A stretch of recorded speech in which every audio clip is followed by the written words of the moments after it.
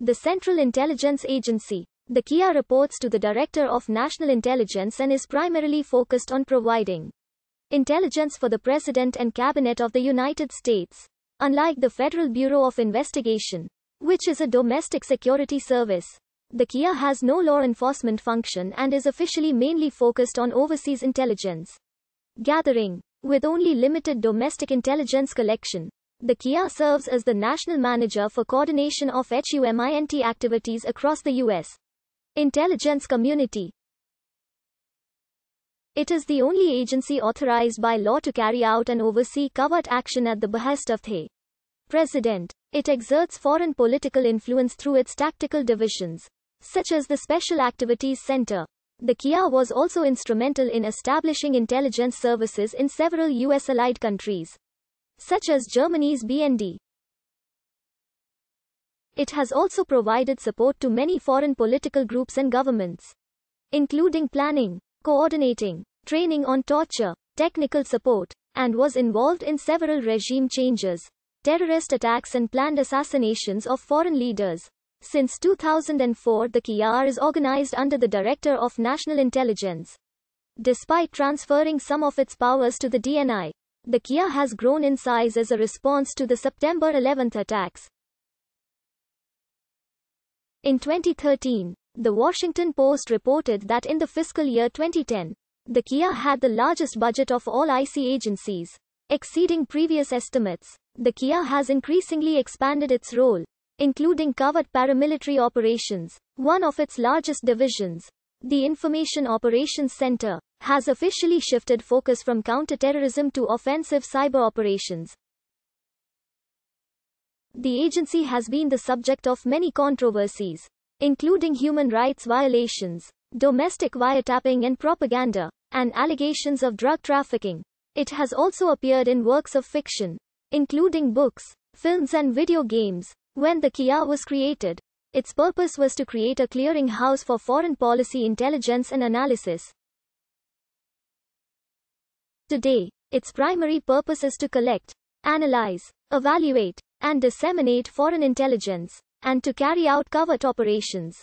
According to its fiscal 2013 budget, the CIA has five priorities. The CIA has an executive office and five major directorates.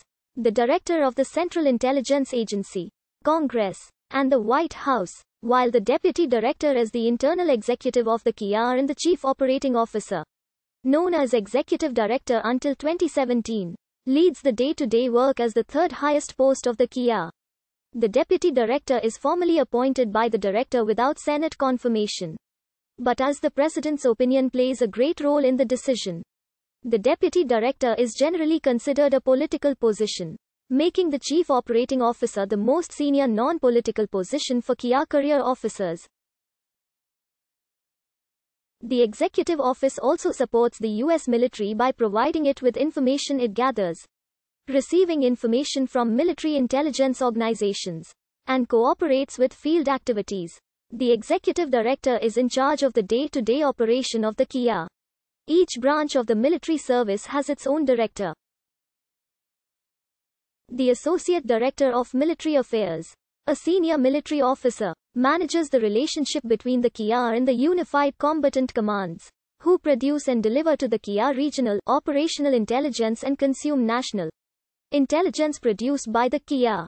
The Directorate of Analysis, through much of its history known as the Directorate of Intelligence, is tasked with helping the President and other policymakers make informed decisions about our country's national security by looking at all the available information on an issue and organize it for policymakers. The Directorate has four regional analytic groups, six groups for transnational issues, and three that focus on policy, collection, and staff support. There is an office dedicated to Iraq, regional analytical officers covering the Near East and South Asia, Russia and Europe, and the Asian Pacific, Latin American, and African officers. The Directorate of Operations is responsible for collecting foreign intelligence under the Defense Intelligence Agency. This directorate is known to be organized by geographic regions and issues. But its precise organization is classified. The Directorate of Science and Technology was established to research, create, and manage technical collection disciplines and equipment.